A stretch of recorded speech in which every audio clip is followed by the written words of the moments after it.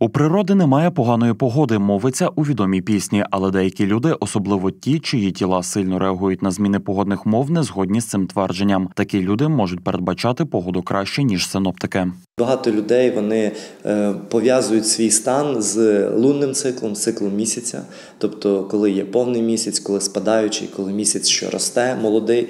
Да, І е, активність така визначається тим, як людина, наприклад, почувається.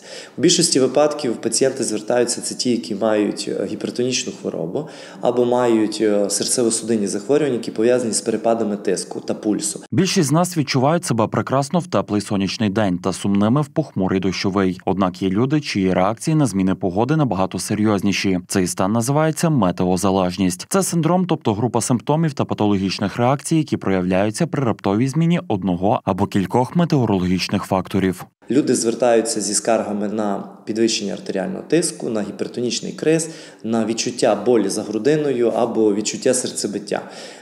Зазвичай я розпитую, чи раніше була така метеозалежність у них чи ні, і яким чином вони, наприклад, пов'язують це з погодою.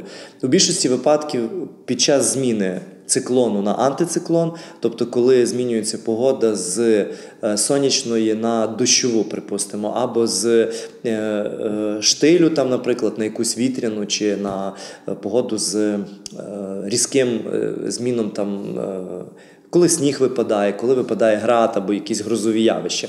От тоді найбільше звернень є пацієнтів, які є метеочутливими. Найчастіше від змін в атмосфері страждають люди середнього віку, особливо жінки, але відчувати їх можуть усі від немовлят до людей похилого віку. Особливо вразливою групою є люди з різними хронічними захворюваннями, зокрема респіраторними серцево-судинними захворюваннями нервової системи. Передбачається, що метеочутливість зачіпає близько 30% населення. Метеочутливість вона визначається також е, е, суб'єктивним відношенням людини до настрою. Тобто у людей може псуватися настрій, псуватися сон, а також е, відчуття безсоння та тривоги, коли людина не може заснути в переддень до того, коли, наприклад, має змінитися погода.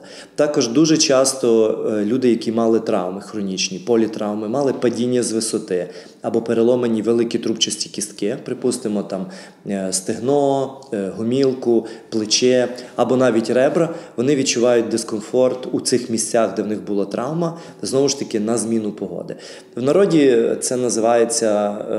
Е, відчуття дискомфорту на зміну погоди, а по науковому називається метеочутливість. Ознаки метеочутливості в молодих і здорових людей виражені слабо і майже непомітні, але в літніх людей та людей з хронічними захворюваннями вони можуть бути серйозними. На жаль, боротися з нею досить важко, оскільки неможливо передбачити, коли ці симптоми виникнуть.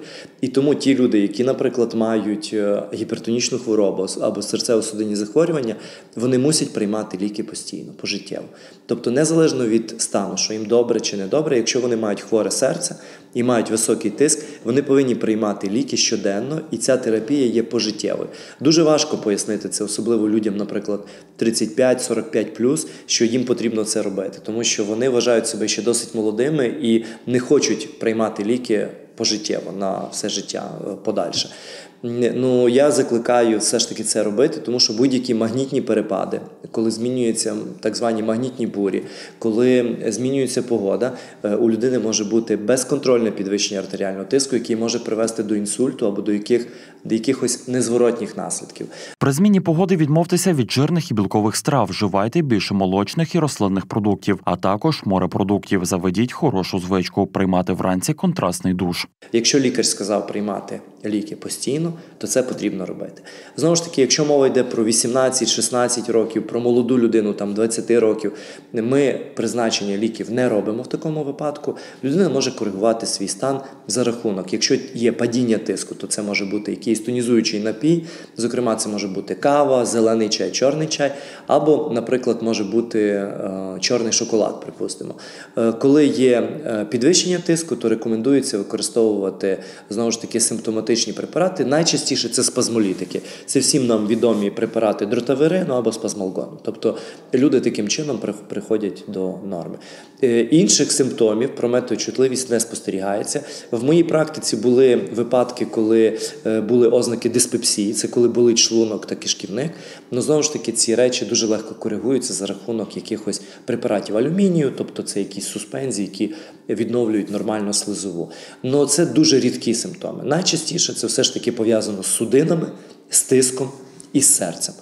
Ну і звісно, з порушенням сну, що людина може погано відпочивати у період, коли е, е, є зміна погоди. Ну, наприклад, погано висипатися, приходити на роботу втомленою, відповідно роздратованою, і таким чином це впливає на загальну працездатність людини, на її витривалість і на її імунну відповідь, тому що імунітет при цьому може знижуватися. Пам'ятайте, метеозалежність не хвороба, а симптом, який повинен змусти людину займатися своїм здоров'ям, обстежитися, виявити причину поганого самопочуття і правильно лікуватися.